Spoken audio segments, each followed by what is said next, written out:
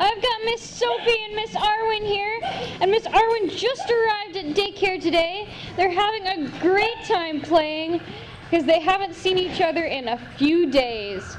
Feels like a lifetime, doesn't it, girls? Have a great day at daycare.